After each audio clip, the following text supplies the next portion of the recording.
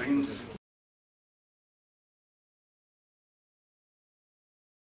заявляли, что графен заменит э, кремниевую электронику. Э, поэтому вот я начну э, как раз с этой проблемы.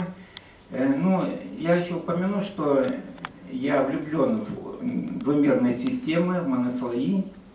Дело в том, что мы еще за 7 лет до графеновой эры сумели отсоединить, отсоединяли монослои арсенида галлия, арсенида индия, кремния с толщинами 5 крем с крема. Но единственная проблема была там, что не было достаточной проводимости, не было еще узкозонных, хороших узкозонных полупроводников, сейчас они появляются. Но я приступаю к теме. Э, э, возвращаясь э, к восторженным отзывам о графене, хочу сказать, что это всегда бывает с новыми материалами. Как только появляется новый материал, значит, появляется ожидание революционных свойств, что этот материал заменит все и сделает революцию. Значит, ну, пик ожи... завышенных ожиданий заканчивается, люди начинают разбираться в ситуации, выявляются недостатки, какие-то разочарования, потом начинается преодоление этих недостатков, и только потом начинается производство приборов и так далее. С моей точки зрения, графен находится где-то здесь, в некоторых областях он уже шагнул э, в производство, там в сенсорных областях.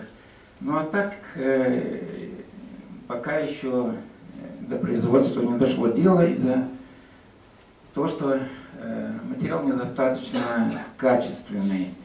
Приблизительно такая ситуация была в свое время с органическими полупроводниками, когда считали, что она заменит микроэлектронику. Но тем не менее, она нашла очень большую область, оптоэлектронику, систему изображения. Точно так же я уверен, что и графен э, уже нашел и найдет еще новые области. Ну, не везде, по крайней мере, не в цифровых устройствах и не в логических элементах э, кремниевой электроники. Э, чтобы понять эту проблему, я начну вот исторически, поскольку я из Института физики полупроводников, Э, вот здесь показано, что за 50 лет произошло э, значит, в нашей жизни, и что связано с кремниевой электроникой. Первый транзистор, который был сделан в середине прошлого века, был очень некрасивый, был больших размеров и стоил 10 долларов.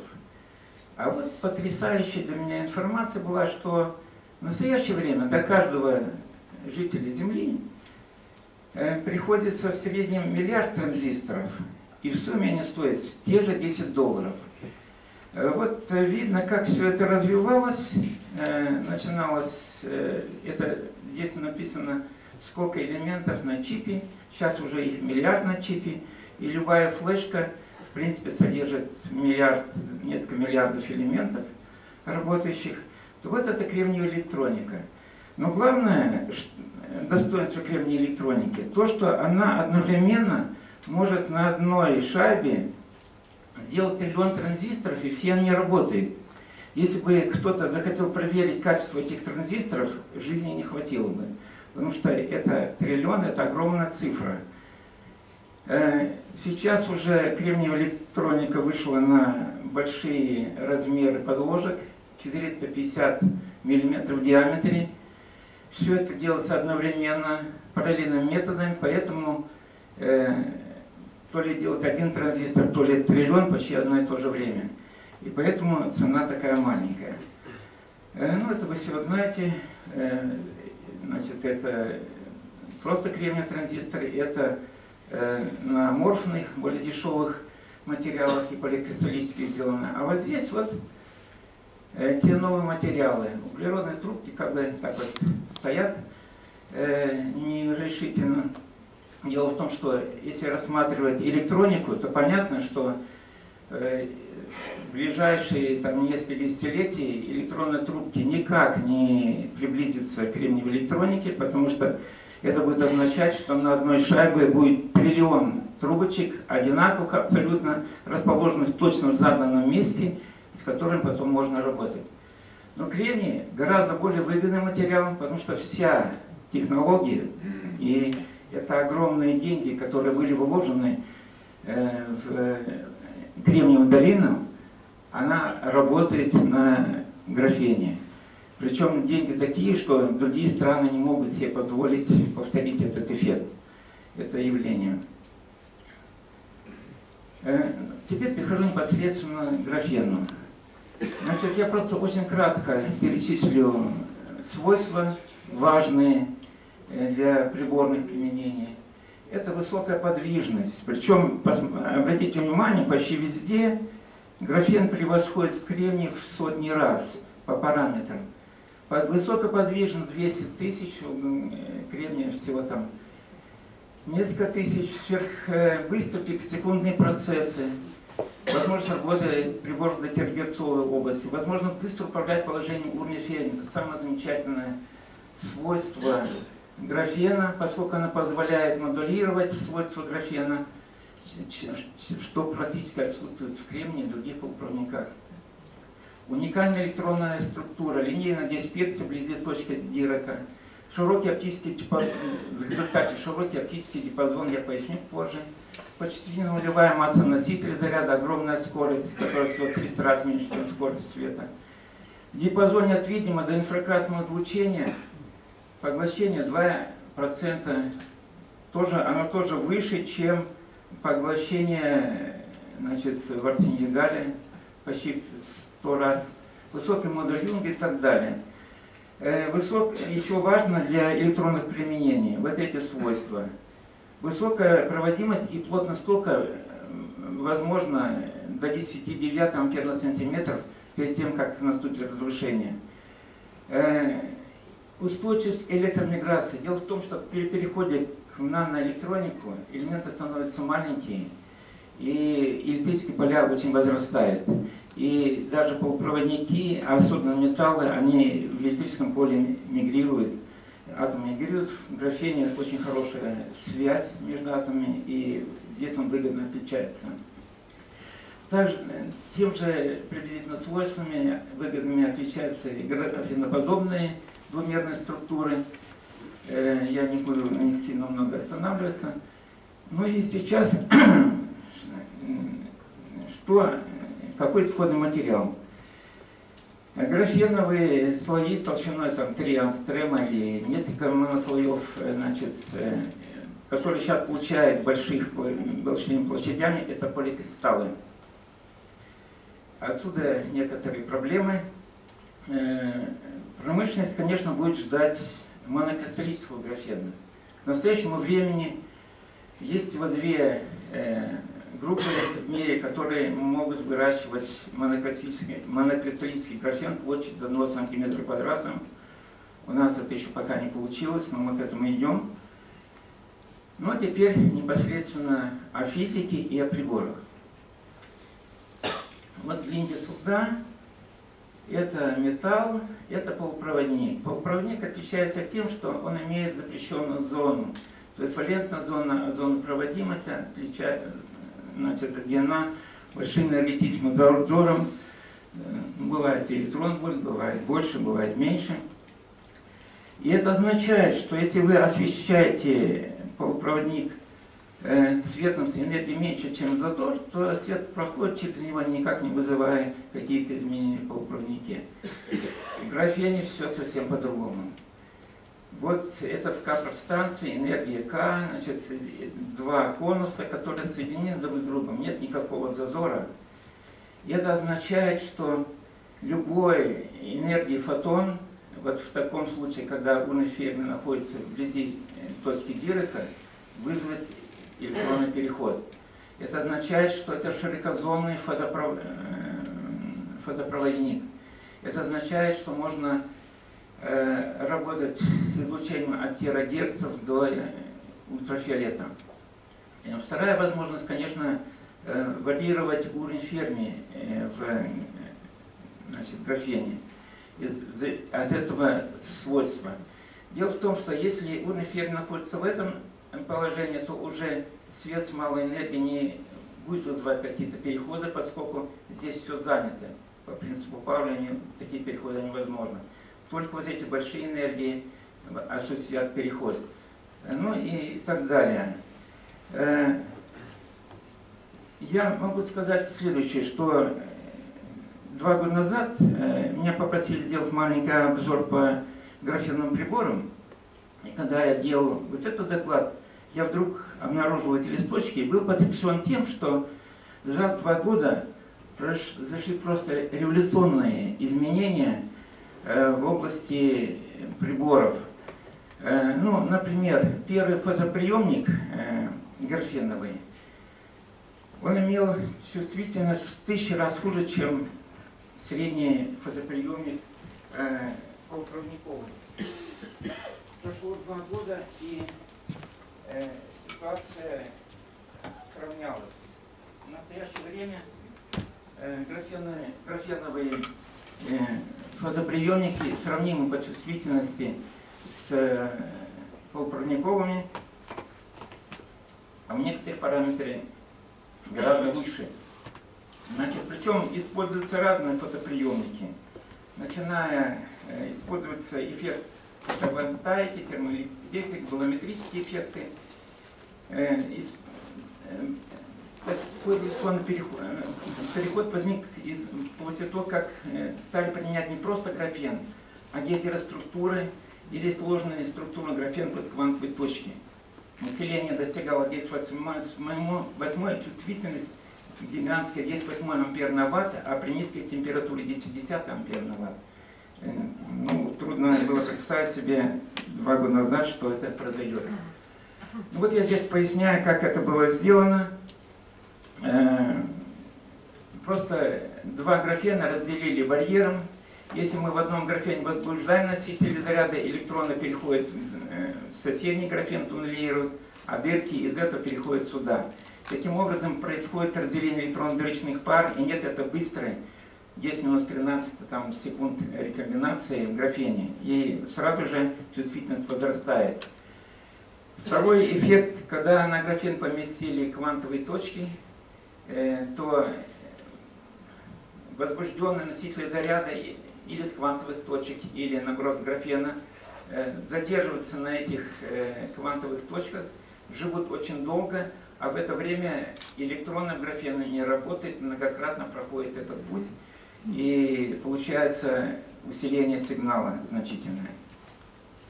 Другой момент, э, когда э, на поверхность графена помещали экзотические э, вещества типа ВИСМа-2, Телур-3, это топологический изолятор, он действует главное то, что он имеет ширину запрещенной зоны, и точно так же обмен носителями вызывал задержку рекомбинации, вызывал значит, существенное усиление, улучшение чувствительности. Существует огромное количество приборов, интегрированных с кремнием волноводным. Понравилась экзотика.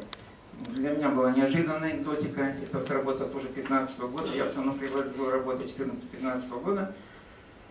Э, если сделать графену контакта, подвешенному графену, пропускать ток, то центральная область разогревается до 3000 градусов Цельсия эти области, которые прилегают к металлическим контактам, где существует теплоотвод, и они более холодные, но центральная область начинает светиться, так как так называемая графенная лампочка. Э, ну и вот э, даже большого вакуума не нужно для этого, и все работает. Может, это тоже начнет, найдет свое применение. Теперь перехожу к последней теме, которая, мне кажется, чрезвычайно важной для графена. И это не только мое мнение, это мнение э, многих э, людей, которые написали обзоры в этой области, это графенная наноплазмоника. Ну, очень, у меня есть еще время, поэтому я остановлюсь. Э, вот здесь вот наноэлектроника, это частота рабочая и размеры элементов. Все хорошо в наноэлектронике, но всякие там емкостные связи, всякие паразитные элементы, все они сдерживают работу, э, скорость работы наноэлектронных приборов. Вот фотоника это идеал. Фотоны очень быстро перемещаются, никаких для них препятствий нет.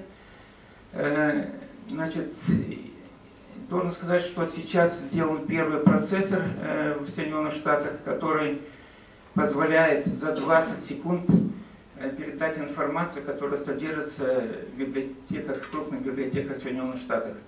Он работает со скоростью порядка там терабит, несколько терабитов в секунду. Но это опытный образец. Но главное, чтобы... Я уверен, что там тоже есть плазмоны.